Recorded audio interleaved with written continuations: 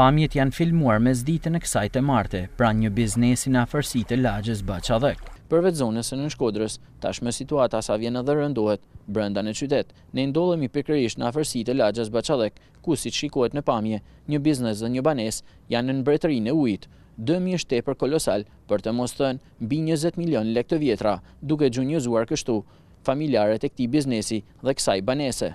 Të gjitha pajisjet e kuzhinës së lokalit dhe një kantinë vere kanë dalë jashtë përdorimit, gjithashtu edhe banesa në pronësi të Aleksandër Tukaj rrezikon që të përmbytet, pasi niveli i ujit nga minuti në minutë po rritet me shpejtësi. Asht mush gjithçka dhe ka përmbys Çdo gja, domethënë ka ka përmyt edhe guzhinën edhe një pjesë të banesës edhe siç e shihni këtu edhe rruga e gjithçka është është nën prezencën e ujit.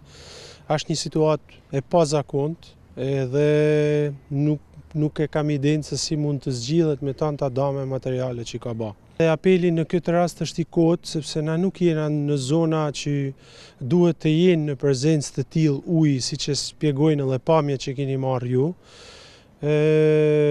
Shpresoj që ujët të kalojnë, se të kalojnë sa ma shpejtë dhe nuk kena shpresë tjetër, domethanë. Për shtetin, për, për, për qeverisjen, nuk kam asnjë lloj, asnjë lloj, për, përderisa ato nuk na kanë, nuk na kanë, nuk na kanë sejdis, nuk janë afru, kur është për vjeljen e taksave, për vendosjen e gjobave, për çdo lloj gjaje tjetër janë shumë prezent.